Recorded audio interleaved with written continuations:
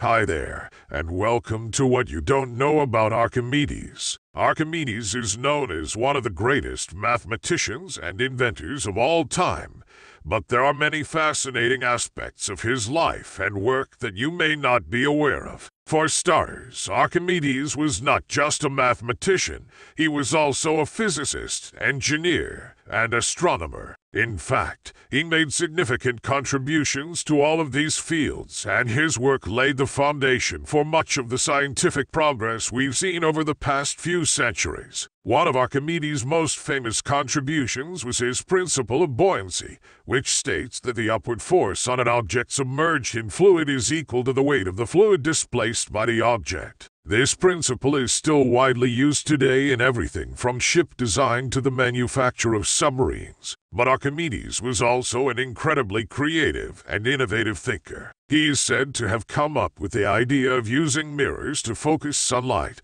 and set enemy ships on fire during the siege of Syracuse. While there is some debate over whether or not this story is true, it's a testament to the kind of outside the box thinking that Archimedes was known for. Perhaps most impressive of all, Archimedes made many of his discoveries without the benefit of modern technology or even the decimal system. Instead, he relied on his own intellect and powers of observation to make groundbreaking contributions to science and mathematics. So there you have it, just a few of the many fascinating facts about Archimedes that you may not have known. Whether you're a fan of history, mathematics, or just curious about the world around you, there's no denying that Archimedes was a true genius whose contributions continue to shape our world today.